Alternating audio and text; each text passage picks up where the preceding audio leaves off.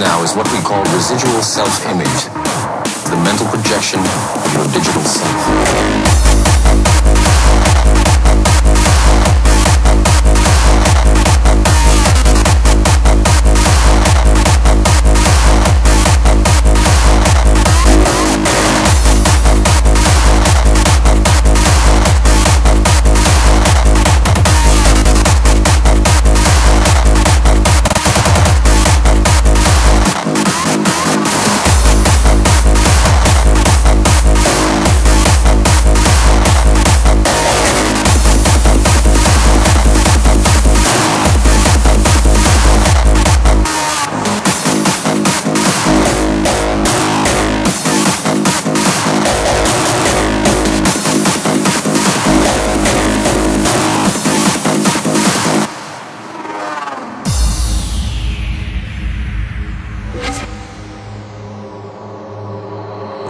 What is real?